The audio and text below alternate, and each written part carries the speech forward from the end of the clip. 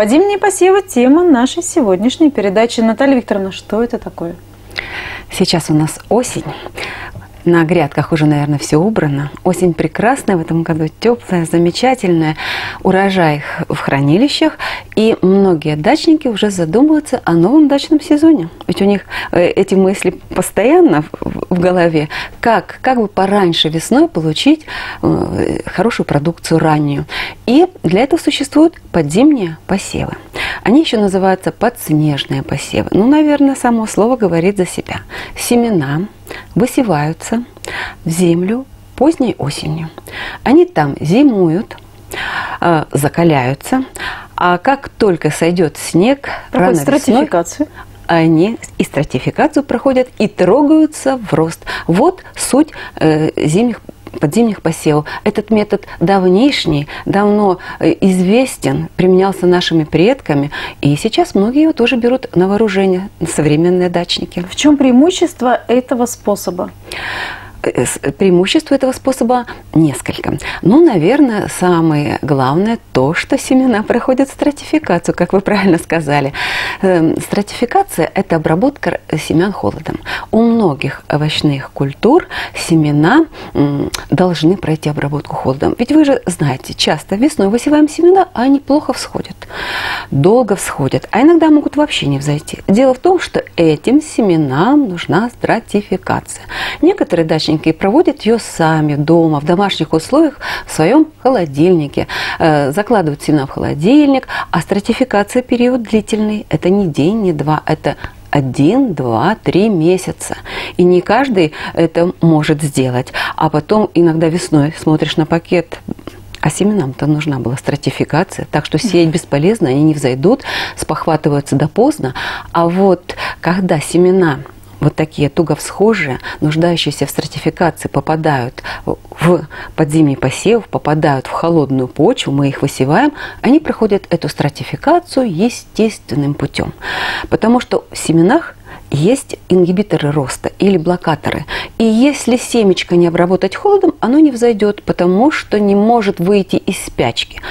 А попав в подземный посев, оно зимует, ингибиторы исчезают, и рано весной семечко трогается в рост, просыпается от спячки. Так что подзимние посевы помогают семенам, которым нужна стратификация. Это одно преимущество и, наверное, такое очень-очень важное.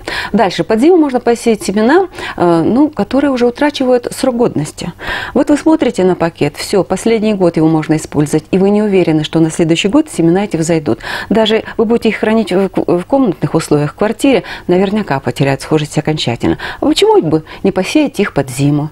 Но даже если они не взойдут на следующий год, вы эту грядку увидели, что ничего не взошло, вы можете ее подсеять свежими другими семенами. Дальше. Семена, которые прорастают рано весной, они получают много влаги. Вот только растаял снег, земля пропитана влагой, питательными веществами. И все это получают наши семена. И, конечно, всходы появляются дружные, закаленные, что немаловажно.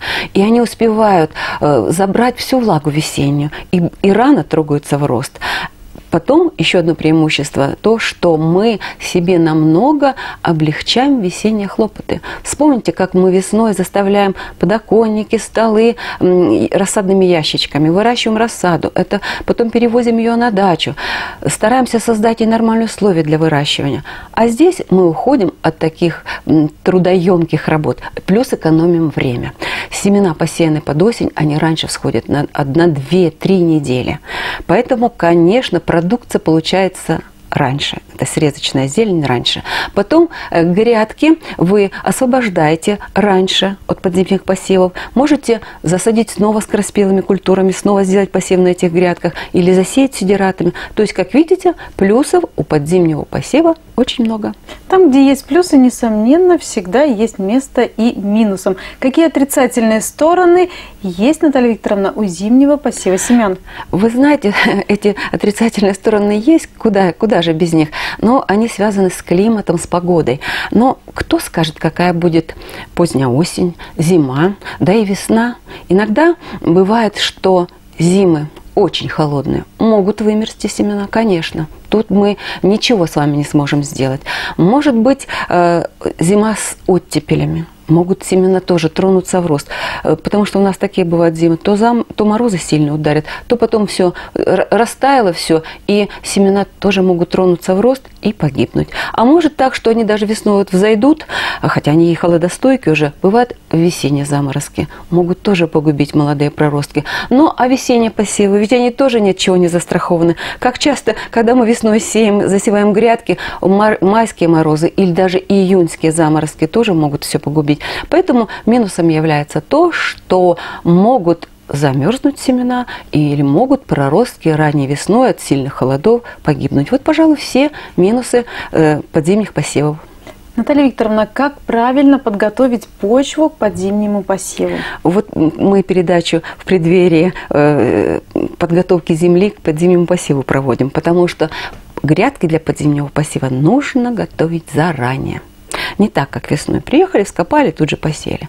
Грядка должна быть готова заранее. А самое главное еще даже выбрать место для этой грядки, где вы будете проводить подзимние посевы. Потому что на низине низине, где у вас будет скапливаться снег. Он будет там долго лежать и долго таять, посеивать, потом могут вымокнуть. Поэтому грядка должна быть на южной стороне вашего участка. Она должна быть, конечно, приподнята, защищена от ветров желательно, или забором, или какой-нибудь хозяйственной постройкой, э, перекопанная грядка, внесены удобрения, песок, зола, перегной и подготовлена.